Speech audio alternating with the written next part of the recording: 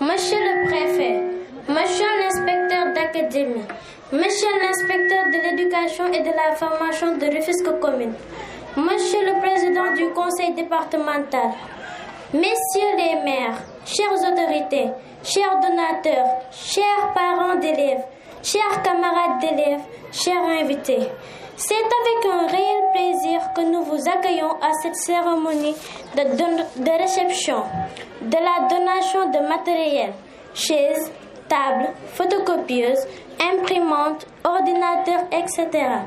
destinés au CEM Marcel Wally. Cette donation a été l'œuvre d'anciens élèves de la promotion 87 du collège Momarsen Wali.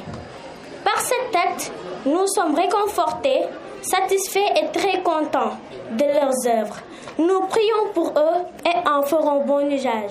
Merci aux donateurs.